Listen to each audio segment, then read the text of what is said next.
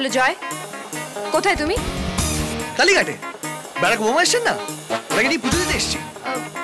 এইভাবে বলছো কেন? কীভাবে বলব আর বলো? অফিসের লাইনে ফোন করে তুমি জিজ্ঞেস করছ আমি কোথায়? এই অপূর্ব। অপূর্ব এডিটোরিয়ালটা ঠিক আছে হ্যাঁ, বলো রিমা কেন ফোন করেছ? না এমনি ঠিক আছে। ওকে বাই অদ্ভুত বাই কি হলো? ও অফিসেই আছে। হলো তো? হলো? চল চলো চলো মা। এবার একটু শপিং করি চল।